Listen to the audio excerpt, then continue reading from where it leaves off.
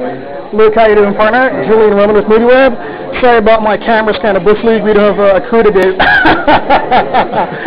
All right, uh, so can you kind of let us know what's going on in Hellboy 2? What's your character? What are you doing? What's the what's the bad what's the bad part of you?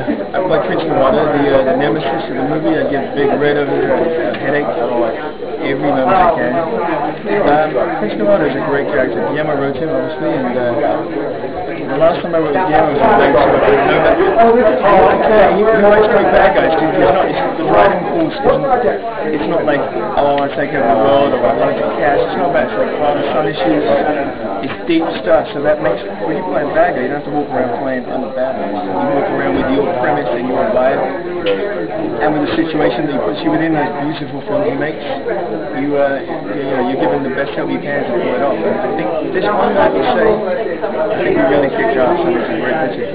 Awesome. Now, you know, you've known Guillermo for a while now. You've done some films together, and he's got some great success. He's coming off major critical success with Pan's Labyrinth.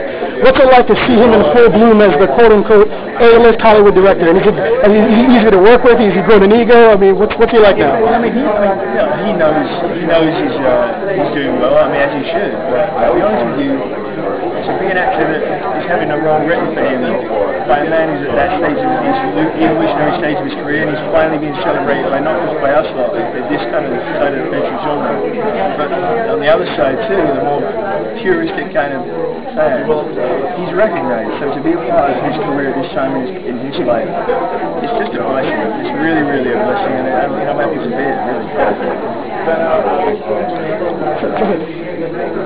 What do you do to add reality when you're playing basically a mythological character? How do you how do you kind of prepare for that? I think I think it's a good question. Like I think what you do is you don't you don't think about as much mythology. Obviously, the story and the research. Mm-hmm. You know, elves, orcs, trolls, things they can do, shape shifting, all this stuff. You have to be aware. Sometimes you might have something that's been overlooked, and you're like, well, I wouldn't be in this predicament because I can do this. Right. I think the bad guys or, or characters or whatever, you have to deeply root yourself in the true character and true to your situation.